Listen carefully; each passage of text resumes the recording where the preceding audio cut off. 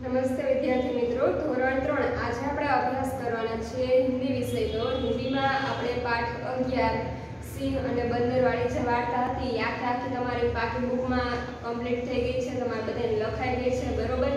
હવે ત્યાર પછી આપણે પ્રવેશિકામાં જોઈએ. પાઠ બાર. નામ શું છે? પ્રાતઃ કાલ પ્રાતઃ એટલે સવાર અને કાલ એટલે સમય. સવારનો સમય. એટલે પ્રાતઃકાલનું ગુજરાતી શું થાય છે? સવારનો સમય એ પણ થાય અને ખાલી તમે સવાર કહો તો પણ ચાલે. પ્રાતઃકાલ એટલે કે સવાર. તો આપણે આખા પાઠમાં શું છે? તો કે કે આખી રાત ગઈ હોય, બરોબર? અંધારું થઈ ગયું હોય, રાત પડે એટલે રોડ તમે જુઓ રસ્તાઓ જુઓ બધી સુમસામ થઈ જાય. ક્યાંય કોઈ આપણે દેખાય નહીં, દુકાનો બધી છે, એ બંધ થઈ ગઈ હોય. અને પક્ષીઓ બધા છે પોતાના માળામાં જઈને સૂઈ ગયા હોય, પશુઓ છે, એ પણ એની જગ્યાએ જઈને વયા ગયા હોય. બધા માણસો છે એ પોતાના ઘરમાં વયા ગયા રાત પડે એટલે આપણને કાંઈ જોવા મળતું નથી. એટલે આપણા પાઠનું નામ શું છે? પ્રાતઃકાલ. એટલે કે સવાર. સવાર પડતા જ કેવા કેવા ફેરફારો મંડે છે થવા એના વિશેનું આપણા આખા પાઠમાં આપેલું છે. તો આપણને ખબર જ છે કે સવાર પડે એટલે બધાય જાગી જાય. પછી જે ભગવાનની પૂજા તે કરતા હોય, મંડે કરવા નાહી ધોઈ લઈએ, સરસ મજાના તૈયાર થઈ જાય, નાસ્તો કરીએ બાળકો જે સ્કૂલે વયા છે પપ્પા ઓફિસે વયા જાય, સવાર પડતાની સાથે જ કેટલા બધા ફેરફાર મંડે છે થવા પક્ષીઓ છે એ સરસ મજાના ચહચહાટ કરવા લાગે છે. એટલે કે એ પણ પોતાના માળામાંથી બહાર નીકળી જાય છે. પશુઓ છે એ ખોરાકની શોધમાં વયા જાય છે, બાળકો છે સ્કૂલે વયા છે, ઘણા બધા ફેરફારો થાય, બરોબર? એટલે કે સવાર પડતા જ આખું વાતાવરણ છે એ રાતની કમ્પેરમાં આપણે જોઈએ તો આખું વાતાવરણ બદલી જાય છે. અને જે રાતે નિર્જન જેવું લાગે એ સવારે કેવું થઈ જાય છે, સરસ મજાનું ખીલી ઉઠે છે.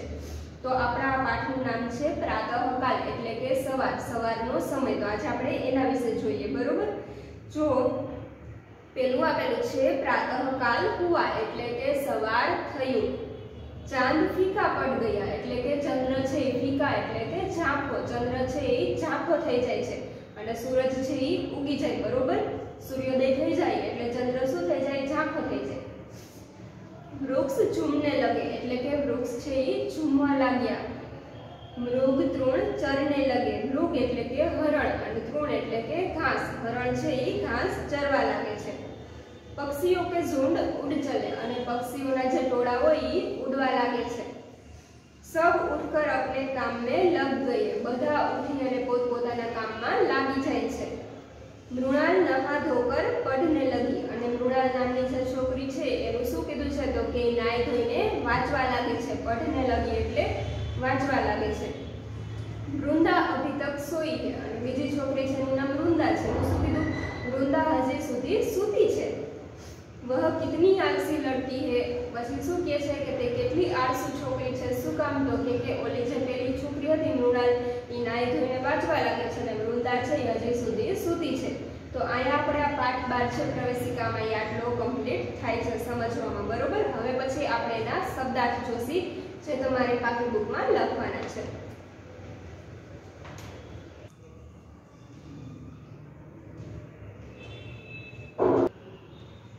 આપણે પ્રવેશિકામાં છે પ્રાતઃકાલ છે, સવાર વિશેની માહિતી મેળવી છે. આપણો પાઠ છે પ્રાતઃકાલ એટલે કે એનું ગુજરાતી આપણે જોયું સવાર. એના વિશે આપણે જોયું કે સવાર પડતા જ કેવા કેવા ફેરફારો મંડે છે થવા, બરોબર? તો હવે આપણે આ પાઠના શબ્દાર્થ જોઈશી. મેં તમને જે હમણાં બુક બતાવી, એમાં જેમ લખેલું છે, તમારે ઉપર આસિયામાં સારા અક્ષરે પહેલાં પાઠ બાર પ્રાતઃકાલ અને પછી એનું ગુજરાતી સવાર. આ રીતે લખવાનું રહેશે, અને પછી નીચે તમારે આ રીતે લખવાનું રહેશે શબ્દાર્થ અને લીટી આપી નાખવાની છે. જેટલા શબ્દાર્થ લખો બધા લીટી છોડીને વ્યવસ્થિત લખવાના છે. હવે આપણે જોઈએ શબ્દાર્થ એમાં પેલું છે પ્રાતઃ કાલ, જે નામ છે એ જ, બરોબર? એટલે તો બધાને ખબર પડી જાય. શું આવે છે? સવાર. ત્યાર પછી લીટી છોડીને બીજો શબ્દાર્થ લખવાનો છે મૃગ. મૃગ એટલે હરણ. ત્યાર પછી છે ફીકા ફીકા એટલે ઝાંખો. ઝાંખું દેખાય એમ આપણે કહેતા હોય, બરોબર? એ ફીકા એટલે ઝાંખો. ત્યાર પછી છે ઝુંડ. ઝુંડ એટલે ટોળા અથવા તો ટોળું. બે કહી શકાય. કરતા વધારે વ્યક્તિઓ કે એક કરતા વધારે પશુ પક્ષીઓ એ હાયલા જતા હોય તો આપણે શું કહીએ? એ ટોળું જાય છે કહીએ ને? હા, તો એ સૂંઢ એટલે ટોળું. ત્યાર પછી છે અભિતક.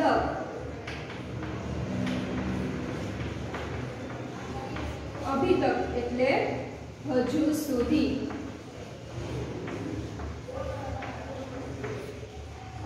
અભિતક એટલે કે હજુ સુધી આટલા શબ્દાર્થ આપણે ફરી એકવાર જોઈ લઈએ. પ્રાતઃ કાલ એટલે સવાર, મૃગ એટલે હરણ, ફીકા એટલે ઝાંખો ઝુંડ એટલે ટોળા અથવા તો ટોળું અને અભિતક એટલે હજુ સુધી.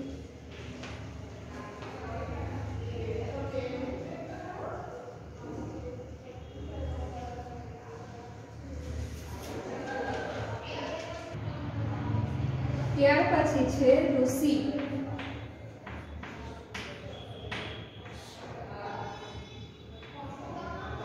ઋષિ એટલે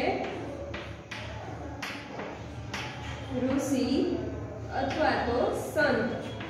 તમારે બધાએ પ્રવેશિકામાં ઉપર ચિત્ર જોયું જ હશે, બરોબર? એમાં આ શબ્દ આપણને આપેલો છે, ઋષિ એટલે ઋષિ અથવા તો સંત. ત્યાર પછી છે તૃણ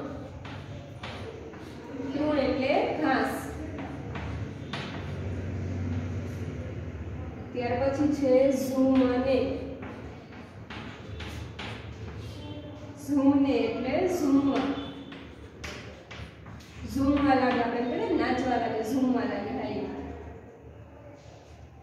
ત્યાર પછી છે સબ. સબ એટલે બધા. ત્યાર પછી છે કિતના કિતના એટલે કેટલું? અને છેલ્લો શબ્દ છે કિતની